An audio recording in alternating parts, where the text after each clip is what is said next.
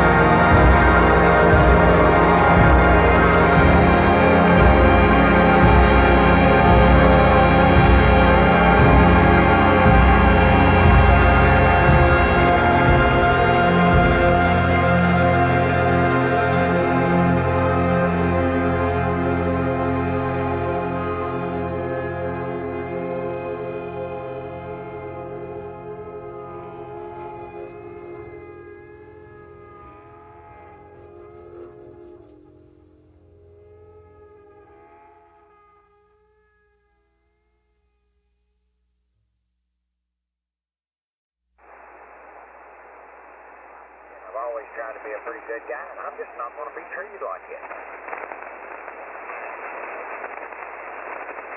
Much, you know, like I I know when I was just a, a boy, some stuff started. When the government came in, killed a couple, and the rest of them pissed themselves, went to the house, and nothing else happened.